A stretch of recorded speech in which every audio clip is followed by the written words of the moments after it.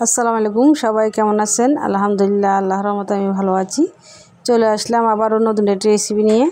কচুর সরি, কে কে পছন্দ করেন? আমি তো খুব পছন্দ করি। তো চলেন যাই দেখি কি কি নিয়েছি কচুর সরি রান্না করার জন্য।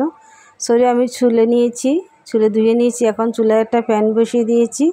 গরম পানিগুলো একটু গরম হয়ে যাওয়ার পরে আমি সরিগুলো একটু হালকা ভাপ দিয়ে নিব। বলক চলে আসছে। এখন আমি ছড়িটা নামিয়ে ফেলব। এ পর্যন্তই করলে হবে, বেশি সিদ্ধ করা লাগবে না। কচুরি অনেক সময় গলা ধরে, গলা চুলকা অনেকের, তাই কচুরিগুলো একটু হালকা ভাপ দিয়ে নিলে আর গলা ধরবে না।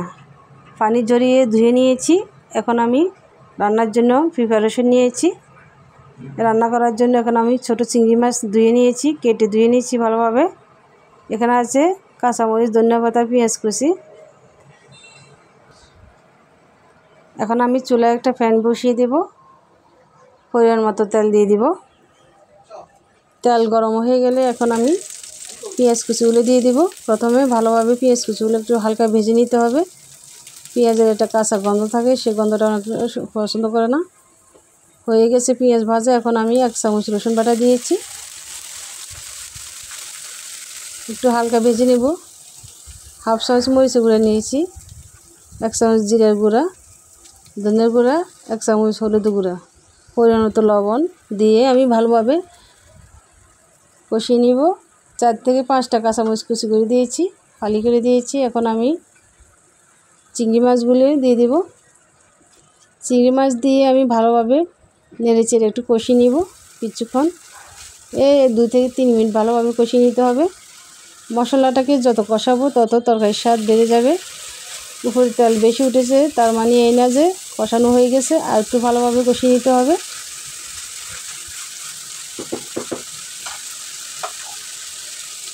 হয়ে গেছে আমার কষানো মশলা, এখন আমি সিদ্ধ করা ছড়িগুলো দিয়ে দিব। সামান্য পরিমাণ পানি দিব। যেহেতু এখানে কোনো পানি নেই, একটু কষানোর জন্য পানি দিয়েছি। নেড়ে চেড়ে ভালোভাবে আমি এখন একটা ঢাকনা দিয়ে ডেকে দিব। ফিরে আসব এক দু মিনিট পর। বলক চলে আসছে। এই মুহূর্তে আমি চুলার আঁচটা মিডিয়াম লোতে রাখব। বেশি বাড়িয়ে দিলে শরীরগুলো সিদ্ধ হতে চাবে না। এই সময় যে কচু শরীরগুলো বের হয়েছে, এগুলো একটু কলম গলা ধরে অনেকে। তা আবার আবারও ডাকনা দিয়ে রেখে দিলাম কিছুক্ষণের জন্য।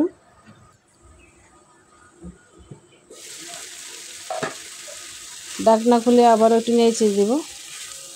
আমার সিদ্ধ হয়ে গেছে, পানি নেই, পানি টেনে গেছে। এখন আমি পরিমাণ মতো পানি দিয়ে দেবো। এক মগ পানি দিব। আপনারা চাইলে পানি কম বেশি দিতে পারেন তো কচুসের মধ্যে পানি বেশি ভালো লাগে না। বেশি জল দিলে মজা হয় না, তাই আমি পরিমাণ মতো পানি দিয়েছি। এখন আমি এক টুকরা লেবু লেবু নিয়েছি। লেবুটা একটু চিপে দিব।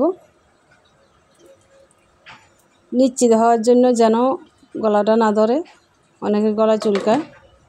এই জন্য আমি একটু লেবুর রস দিয়েছি। ঢাকনা দিয়ে ডেকে দেওয়ার পরে এই যে কিছুক্ষণ পরে ফিরে আসলাম বলক চলে আসছে। চুলার আঁচটা এই মুহূর্তে আমি বাড়িয়ে দিয়েছি জল দেওয়ার পরে। আবারও ডাকনা দিয়ে রেখে দেব। আমার ভিডিও যদি ভালো লেগে থাকে, অবশ্যই লাইক শেয়ার করতে ভুলবেন না। যদি ফেসটি নতুন দেখে থাকেন, তাহলে সাবস্ক্রাইব করে রাখবেন। ইউটিউব থেকে দেখে থাকলে সাবস্ক্রাইব করে রাখবেন, আর ফেসবুক পেজেতে দেখে থাকলে ফলো দিয়ে রাখবেন। সবাই সবাইকে সাহায্য করবেন। সবাই সবার জন্য এগিয়ে আসবেন। হয়ে গেছে আমার কচুরি কেমন হয়েছে অবশ্যই কমেন্ট করে জানাবেন। দেখেন কত সুন্দর একটা কালার কে কে আমার মতো কচুরি খেতে পছন্দ করেন, অবশ্যই কমেন্ট করে জানাবেন। রান্নাটা কেমন হয়েছে? আপনাদের কাছে যদি ভালো লেগে থাকে, অবশ্যই লাইক শেয়ার দিয়ে সবার মাঝে ছড়িয়ে দিবেন। তো সবাই ভালো থাকবেন। আল্লাহ হাফেজ।